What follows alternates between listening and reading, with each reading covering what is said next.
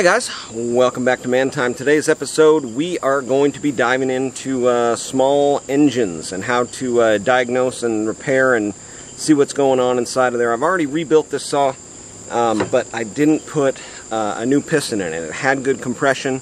Um, it, it, was hard to tell, you know, that there was anything wrong with the piston or the uh, or the jug or anything. I did look down inside the the jug, didn't have any scoring, so that all looked fine. Um, but with any of these small engines, um, combustion engines, they're they're going to have wear items, and on uh, all, you know all these uh, two-stroke ones, the the wear item is going to be that uh, piston ring, and that's designed to wear out over time, um, so you don't hurt your piston and or jug, um, and uh, so a lot of the rotating equipment like that, I mean, they're all going to be a wear item um, it just depends on how well it was made, whether or not you replace it uh, sooner or later. And for this one, it's been much, much later. From uh, I, I, don't think that uh, it may have had a new piston in it at some point, but uh, yeah. Um, so we're going to be doing this. I've also got a weed eater, um, so this one's going to be a whole lot easier. I'll start with this one and then maybe move on to the weed eater in uh, in another episode. But uh, I'll show you what's going on here. And um, what, what's happening is when I give it gas, it's just kind of falling on its face. And we'll do a compression test on it and show you how to do that. Um, so let's uh, let's get started. Welcome to Man Time. All right, so we'll start off here, um, and I'm just going to kind of show you what it's doing. So I'm going to choke it, turn it to the on position, and it, it's firing right up. It sounds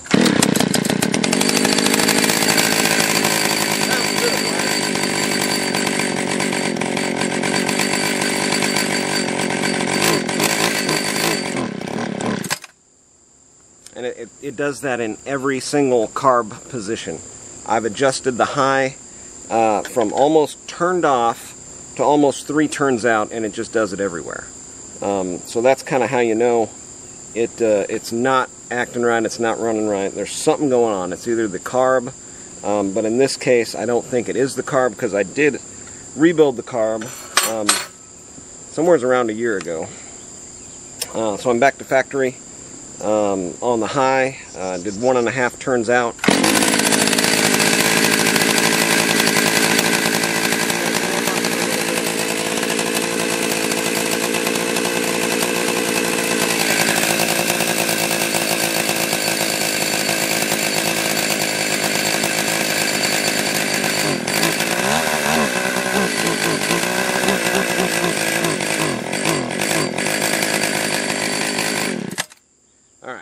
Something's obviously wrong with this one, and um, my uh, my weed eater was having the same exact symptoms. Uh, so I'm assuming that it's going to be the piston and or the rings.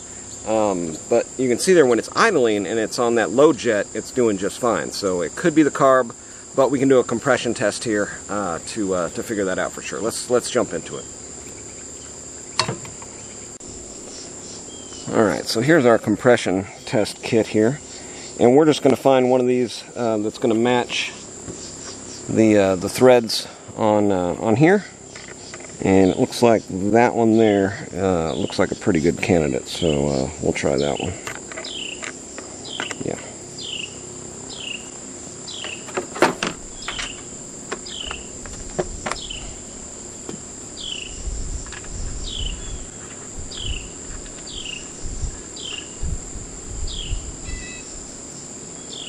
and you just need to uh, to hand tight it in there. It's got an O-ring on there, and then uh, we'll hook up our gauge,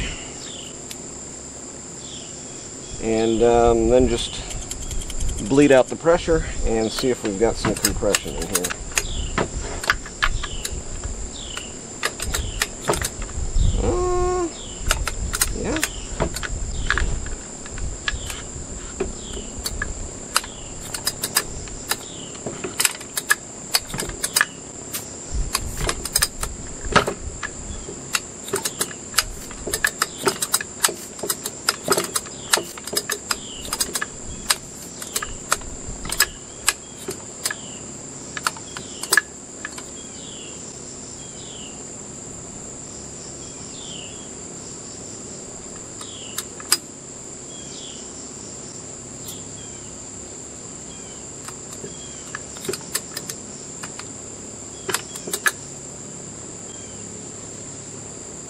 Mean, it's showing some compression here.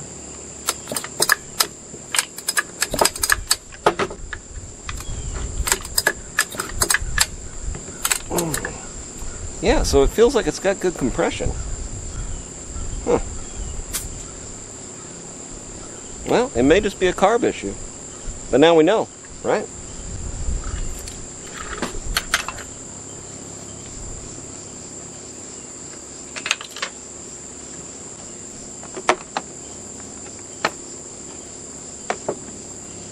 Yeah, I'd be ecstatic if it was just a carb issue. Okay, well, yeah, and another thing you can do here is kind of look inside, right in there, and take a look at your uh, your piston. And um, there's no kind of marring or anything on there. And uh, yeah, we're getting some compression. So now we'll we'll jump into the carb.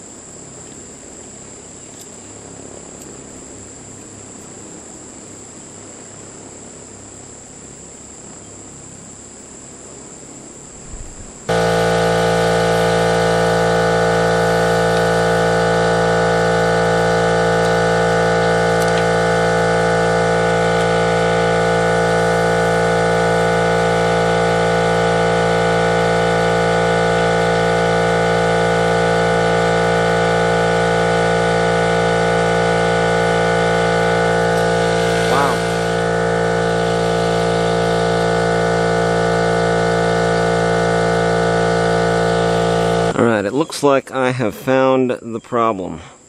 And uh, that is a screen, little mesh screen, that is uh, supposed to be nice and clean and keep all the trash out of the carburetor. And it did its job. Apparently uh, had some trash coming through the carburetor. So this should be an easy fix. Not too bad. Yeah, I guess it was just uh, varnish of gas. But uh, yeah, there's that. There's that screen. And uh, yeah, it just had a bunch of varnishy, nasty gunk in it. Huh. Alright. Yeah, whenever I look at one of these, I'll take a flat file and just kind of run over the edge of it here. And just make sure there's no high spots.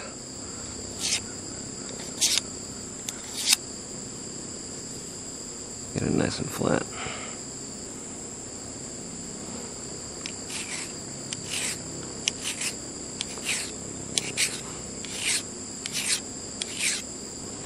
Blow it off.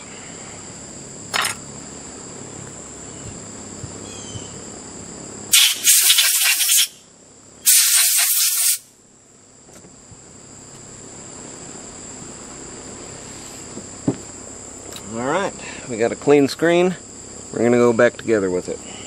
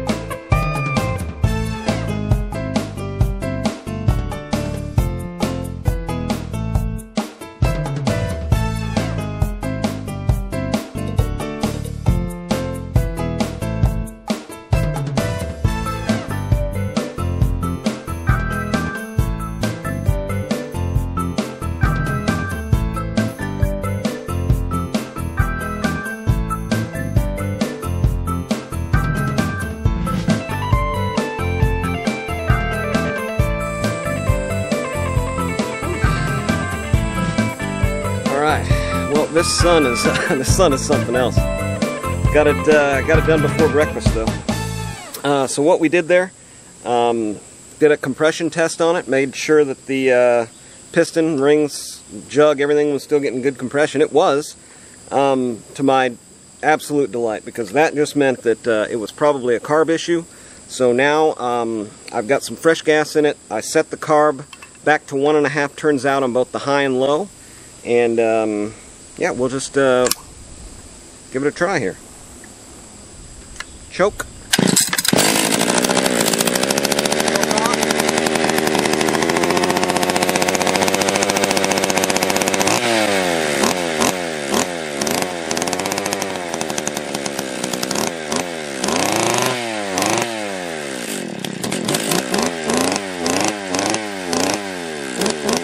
That's pretty, that's pretty heavy there. So we'll turn uh, high and low um, in a little bit to reduce the amount of gas.